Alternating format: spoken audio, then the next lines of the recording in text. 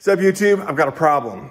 Uh, I've got this awesome compressor over in the corner and it's taking up too much space. So here's what I'm thinking. So yeah, it's hanging out like over in the corner and we've got all that lip space like over on the apron. I don't know what you call that, the ledge there. And I wanna kind of get it further up into the corner. And that's exactly what we're gonna do today. All right, so the first order of business is to measure this Mammo Jammer. And uh, what I'm coming up with is I'm looking like 24 inches deep is plenty big enough. And then same thing uh, wide, 24 inches seems plenty big enough. And really all we care about is the base, the feet. And uh, they'll fit on there no problem. All right, so got a crazy simple design, making a little two by four uh, frame up for a platform. And uh, it's 24 by 24 inches square. Uh, that's something in millimeters, I don't know what. And um, so basically these end pieces are 24 inches long. Uh, these three joist stringers, they're not stringers, joists, whatever. These things are 21 inches long. Crazy simple. So I'm gonna glue, uh, I'm gonna pre-drill, I'm going to screw, and uh, put this Mammo Jammer together. Let's do it.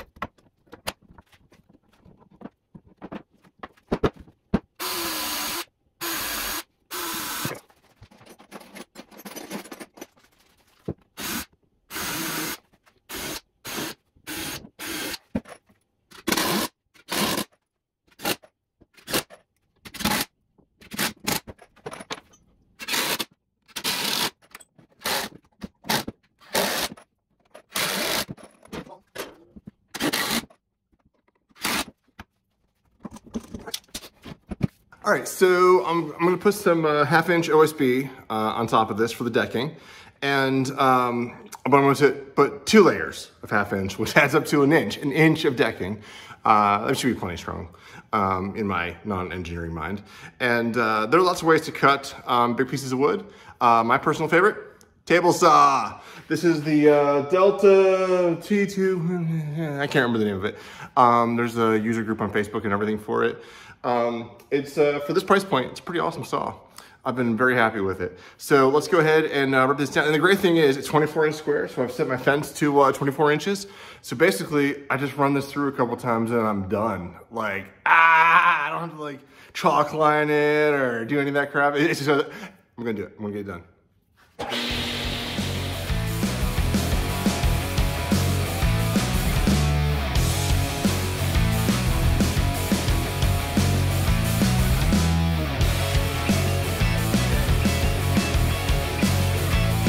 So I've got the uh, two 24 inch pieces of half inch OSB cut. I'm just gonna uh, scroll line down the middle where to put the screws down the middle. I'm gonna glue and screw the daylights out of this thing and uh, make a crazy skookum.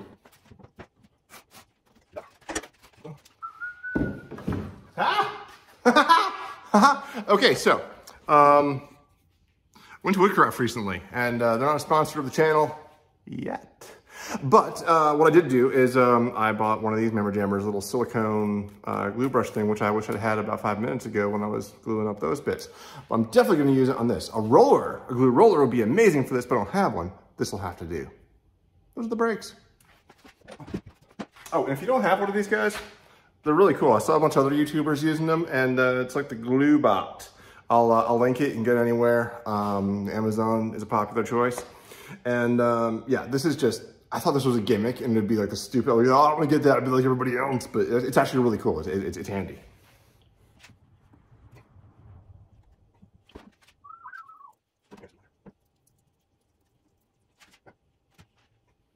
Ah!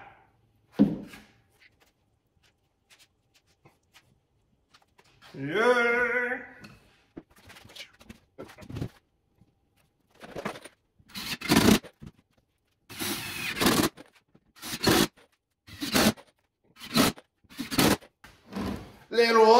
is done. This is time for Leo two.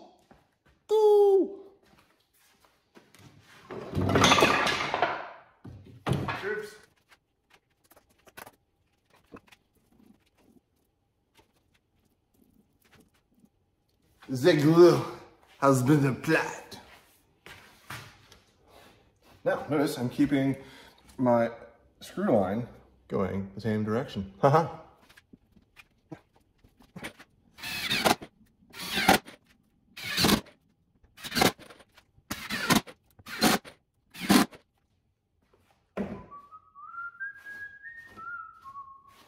So, as you can see, we have ourselves eh? a platform, a platform to put the compressor upon.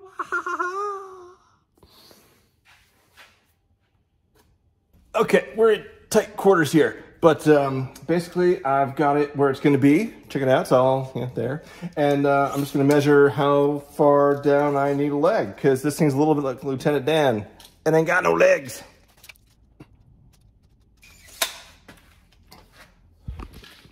12 and 3 quarter inches. Remember that. Now, did you remember that measurement? Measurement?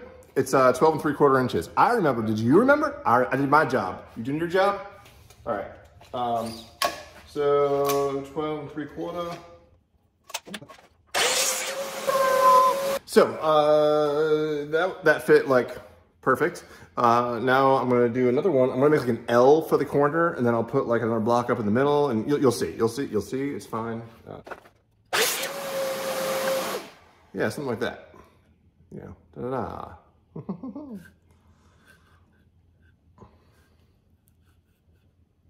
yeah, that'll work. By the way, I've been rocking this um, Hercules saw from Harbor Freight for a while, and uh, for the most part, I've poo-pooed on kind of anything electrical from Harbor Freight because there's a tendency to burst into flames and die in a smoky disaster. But uh, this one hasn't been bad. I've read a bunch of reviews and um, folks have actually put it up against the DeWalt stuff for uh, for accuracy and awesomeness. Um, I don't know if that's true because I have never had a DeWalt uh, compound miter saw. Um, but this thing's pretty slick. Uh, I dig the um, the super simple, um, you can see the, the blade light on it. I don't know if you can actually see it from there. I'm too lazy to move the camera, so just do a picture in your head. Um, okay, I'll move it. I'll move the camera. Fine, gosh. So, you can see the line, you know, where the blade will go. And it's better than the laser things because the laser ones, um, they, they, they just never line up perfectly, uh, apparently.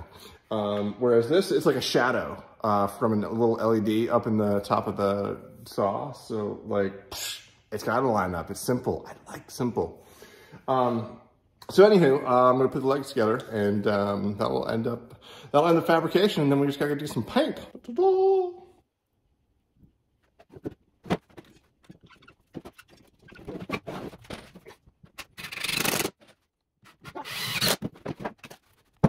So, hey, you might be wondering a couple things. One, why am I using treated lumber? Well, because it's what I had laying around.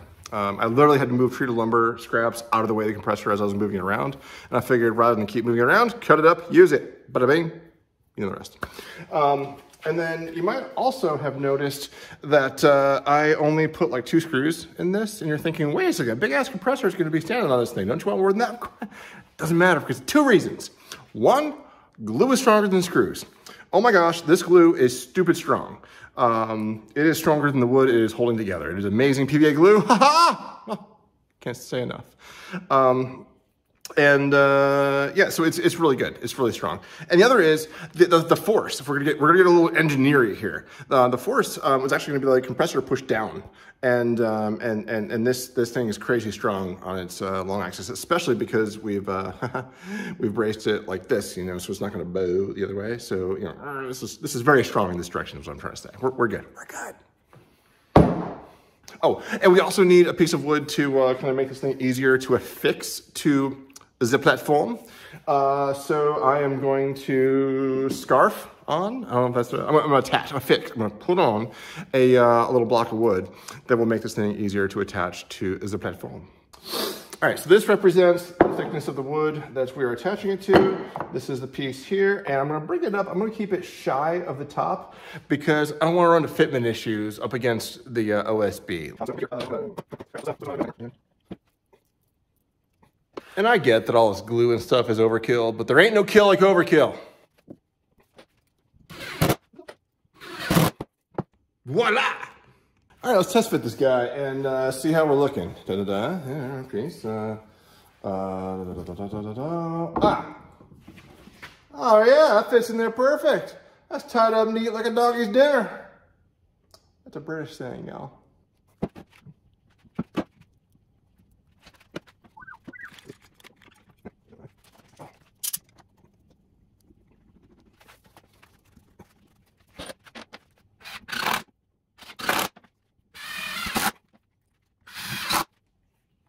Yeah, it's all right. No, no, you did better there. Nah, it's all right. Yeah. Uh, that's the one. Yeah, it's all right. I like that one. I'm gonna keep that one. Now all we need to do is paint the thing. As you can see, I'm lazy. Oh, there we go. I am lazy, I mean efficient.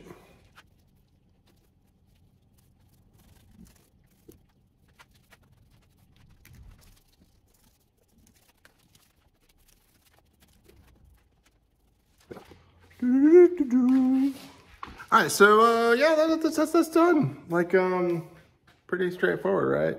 And you might be wondering how I'm going to lift that big ass compressor onto this little ass um, platform. Well, I have a plan.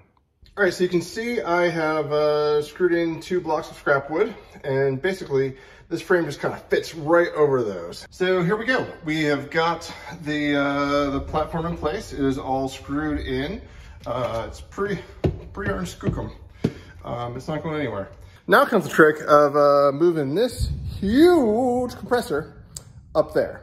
Now there are a couple ways to go about this. I've had many thoughts. One, I could uh, invite my friend over with his uh, cherry picker and um, that, you know, engine hoist and lift it up with that. That's how we got it in here off the truck. He's like an hour away. That's a long way for him to drive. My next thought was to remove the um, the the the the condensate, the water, the the um, the clear valve thing, a valve on the bottom thing that lets you blow out the water, um, and uh, and just use my uh, floor jack to lift it up. That'll work, but it'd still be kind of tippily wippily up in the air. Um, it'd be a two person operation. So my most recent thought is to uh, use the CERT method. So CERT is like this community emergency response tactical, I, I forget what it stands for. But basically I learned a thing. It's like in case of natural disaster, um, you need to like rescue a person that's stuck underneath debris, you basically uh, crib, just like you're um, lifting a house. You, you just crib underneath it. Um, you only lift it a little bit at a time. So that's my idea. I'm gonna like basically keep on like you know, just, just tilt it just a little bit, put a block in the corner. Just got three feet. And then I guess I'll just pivot it over. I haven't thought that, that far. I'm sure it'll be fine, be fine. Yeah, I'd feel a lot better moving this thing around if it didn't have like 130 uh, PSI in it. So I'm gonna go ahead and let the air out. I think that's a smart move.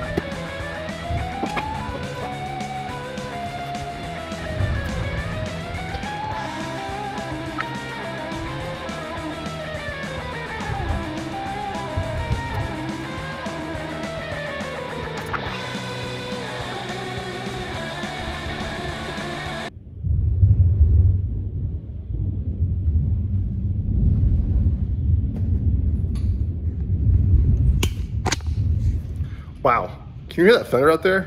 It's crazy, it's raining hard. Power could go out any minute. The lights could go out. This is getting intense. I like it. Okay, so it's done. It's up there. And I'm not gonna show you how I did it, and here's why. So real talk time. Um, how I got it up there was pretty janky. Um, almost killed me, my wife, uh, probably would have injured my kid, who knows. We were all out here. And um, So my genius idea was, um, you saw me, you know, cranking it up on the blocks. Well, that was that was good up until a point. Then I started getting a little sketchy. Thought I was going to Jenga fall on me. And then um, I got out the floor jack, and uh, so I actually removed um, the uh, the drain, uh, plumbing down here, right here. I removed that, and that way, you know, we get the floor jack up underneath it. And um, wasn't worried about the floor jack itself. I mean, I think it's like three and a half ton Skookum uh, floor jack. It's ridiculous. No worries there. But the transition was a little sketchy. Uh, almost dropped it. Um, did not go well. But short story long, it's on there. So I'm not showing you because I don't want anybody copying me because it was dumb. I'd sue me. It was dumb. It was, it was stupid. Anyway, so now I save some space. The garage is a little more feng shui. I dig it. Till next time, peace.